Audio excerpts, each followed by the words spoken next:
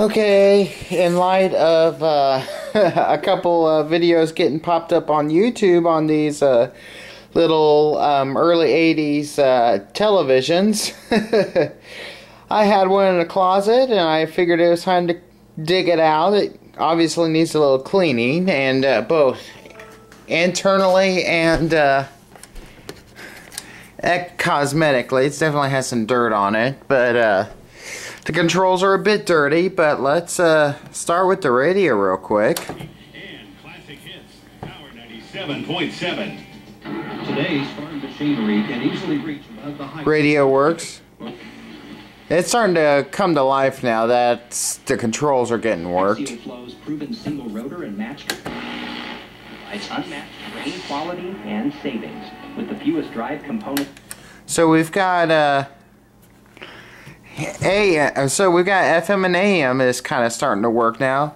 Let's uh, see what we can pick up on TV.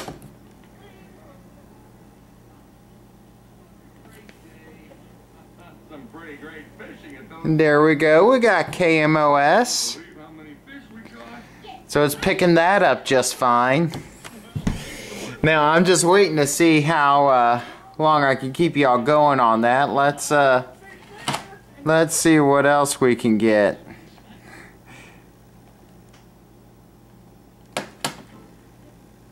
Ooh, here's the weather. The volume on that's like all the way up. Let's go back. Iguanodon. Iguanodon. So, I'm actually just got some rabbit ears hooked up here. And of course, because you kind of have to, I'm using a uh, DTV converter. At the back of this thing, you know, I've got ACN, it's got a DC, and on the bottom it's got uh, batteries. It's got a, whatchamacallit, a little three and a half inch mini plug, and you can see even with it unplugged, you, it's still getting a picture off of it just from uh, just from what little output the DTV converter has. This is the only way I could get to rig it, could find to rig it to pull, push the signal into it. It's just out of you know, just kind of shove it in and then ground it to an RCA. It worked, so I'm not gonna complain. But uh, let's see.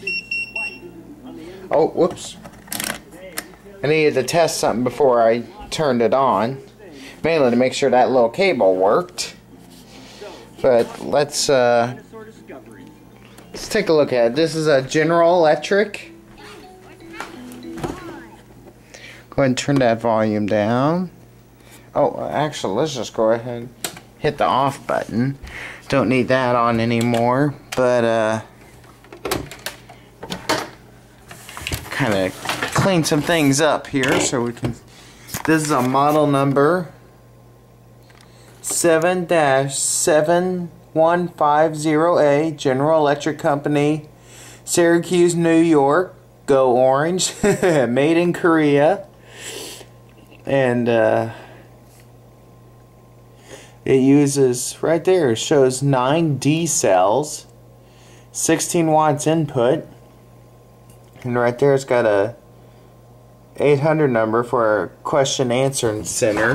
It's got a rod antenna right here, which I don't know if that's for the uh, FM as well or just for the uh, TV. And she's stiff. She needs some WD 40. Let's pop it up on the side here and